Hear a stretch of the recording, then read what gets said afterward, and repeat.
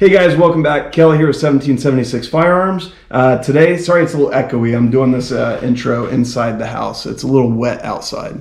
So uh, Tim and I uh, are going to be doing a review on the Taurus Tracker. It's a 357 Magnum um, double action revolver. Double action for any new shooters out there. Double action refers to the amount of jobs that the trigger does. And in this case, it's going to do two jobs. It, it cocks the hammer and then it also releases it. So the trigger pull is going to be a little bit stiffer on this one. Now you can always shoot them in single action mode, which means you physically cock your hammer back uh, and then the trigger just does one job and that releases the, the hammer.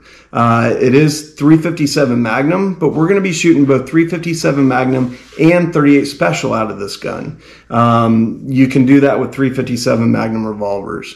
Uh, the, the, the projectile, the bullet, are the same diameter. Uh, the 357 Magnum has a, a little bit more power to it. Uh, but I'll talk about that here in a second. So this pistol, this pistol, this revolver uh, is a six and a half inch barrel uh, I, it's going to feel, I'm guessing, pretty darn awesome to shoot. So we're going to shoot that at a range and then we'll come back and tell you what we think of it.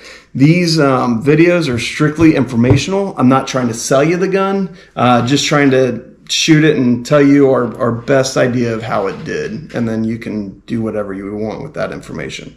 All right, talking about the two different rounds. So this one is a 357 Magnum. This one is a 38 Special. So if you look, the 357 Magnum is just a little bit longer. Uh, they're both 158 grains. That means the projectile, the bullet that's leaving the, the muzzle, the front of the gun, is 158 grains. It weighs 158 grains. This one, uh, the 357 Magnum, leaves that barrel at 1,470 feet per second. 1,470 feet per second. The 38 Special uh, leaves the, the muzzle, the, the gun, at 917 feet per second. Huge difference. So it should feel very differently, and we'll, we'll talk to you guys about that too. So thanks for tuning in, and we'll see you guys after we shoot.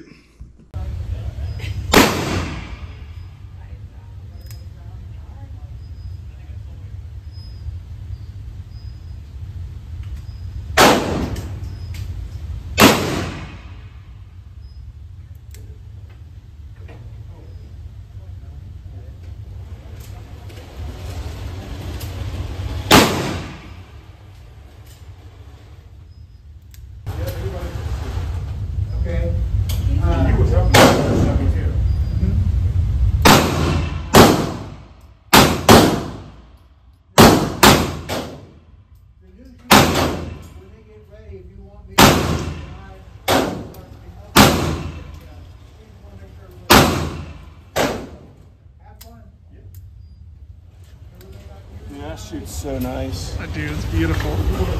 Another shot.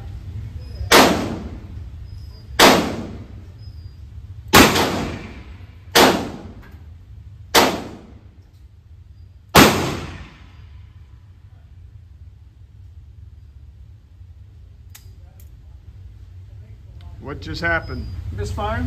Yep, that's a misfire. What are we gonna do? Just gonna sit here for a little bit. All right, take that finger off the trigger. Nice job, Tim. Thank you.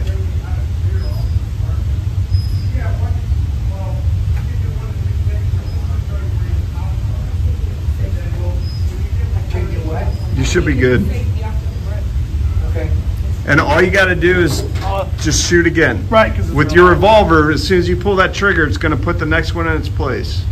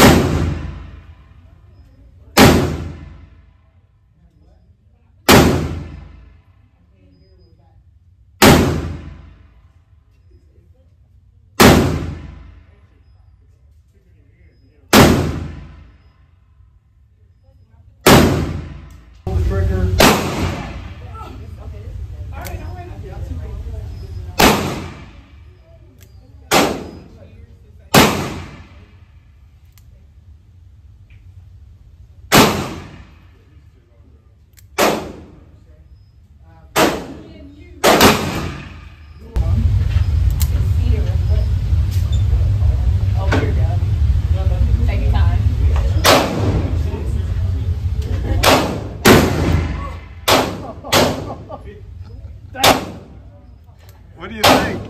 dude, that was that was an experience.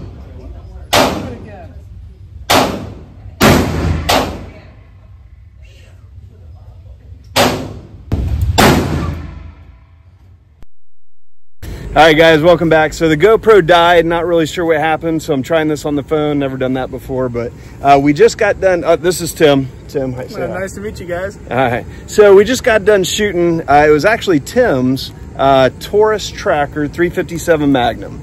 Uh, while we were in there, we did uh, we did the 38 special, and then we also shot some 357 Magnum in there.